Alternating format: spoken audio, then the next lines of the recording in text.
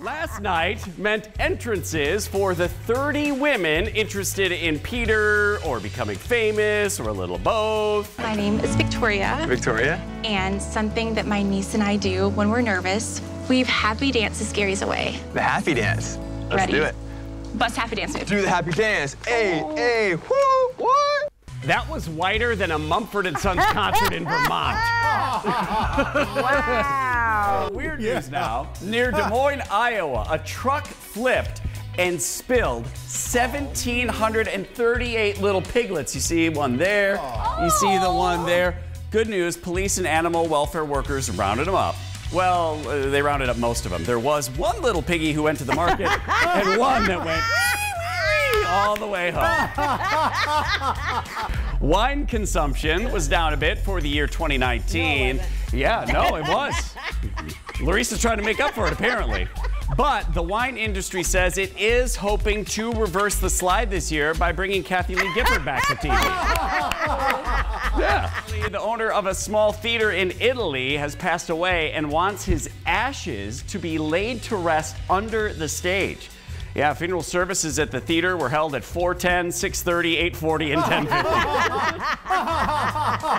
I would, I would go to the IMAX, but you know, whatever you want to do.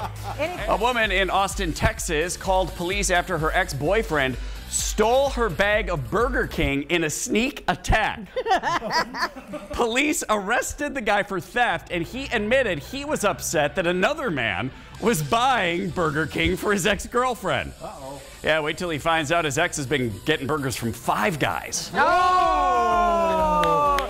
was good. That was Yeah, and when they broke up, she told him to hold his own pickles. So. Oh. In Kentucky, a woman was told by a probation officer to provide urine for a drug test. Now, she got busted trying to pass off urine collected from her dog as her own. Oh. Well, the good news here is you pass the drug test. The bad news is you have worms. Oh.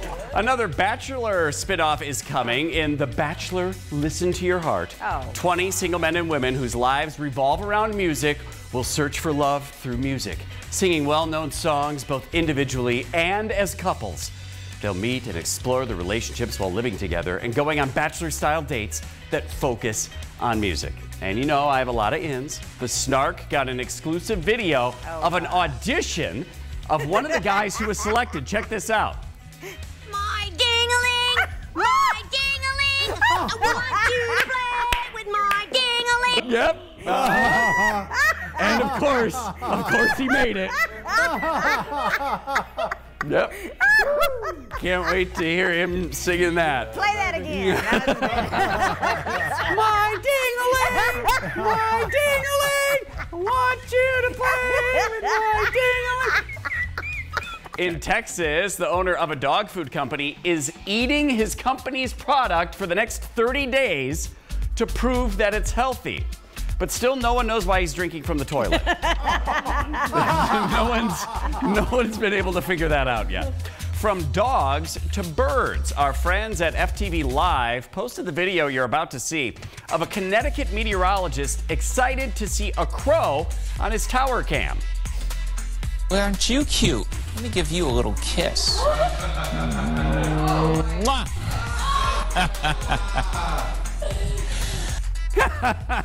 There's now a 70% chance he has the bird flu. this is not the news. It's pop culture, entertainment, and gossip with attitude. This is your Daily Snark Report, and I'm Derek James. Alright! So, last night's debate was Ladies' Night. Oh, what oh, a yeah, night. hey. As Elizabeth Warren proved with what is already the top tweeted and most replayed line of the night. I think the best way to talk about who can win is by looking at people's winning record. So, can a woman beat Donald Trump? Look at the men on this stage. Collectively, they have lost 10 elections.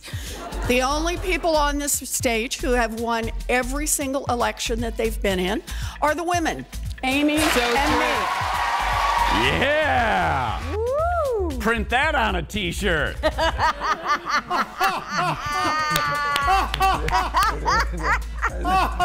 oh, yeah. Well, of course, Warren got it fired up, so Amy Klobuchar, keep it going, girl. When you look at the facts, uh, Michigan has a woman governor right now, and she beat a Republican, Gretchen Whitmer. Kansas has a woman governor right now, and she beat Chris Kobach. And her name um, is, I'm very proud to know her, and her name is um, uh, Governor Kelly. Thank you. I have um, known my good friend, um, really good friend, uh, Governor Kelly, since that time that we met. We met in a great city of people and things. Um, I remember we had an instant bond over a thing, and we enjoyed a um, undisclosed meal or beverage of some kind. Thank you. that was that was a little that was a little rough. All right. Trash talk and sports go together hand in hand, but I'm starting to think that Jeopardy GOAT trash talk is the best kind of trash talk. in spite of these scores you see here. We'll get rid of those scores right now. We will, of course, add them to whatever the. Hey, Brad's score's still on there.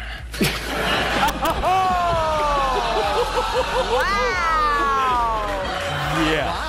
Uh huh. Now, of course, the correct comeback would have been well, my score is also the number of dates you had in high school. Oh, Oh, I'm sorry.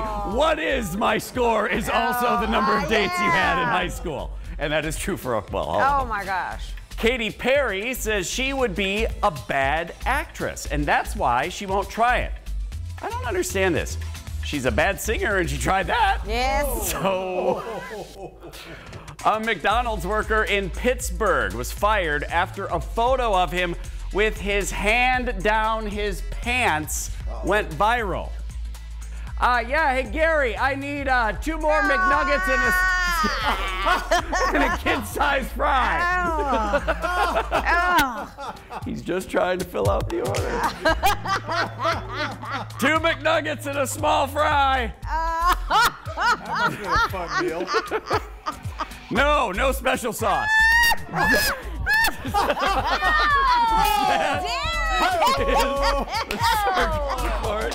Facebook.com slash Sarge.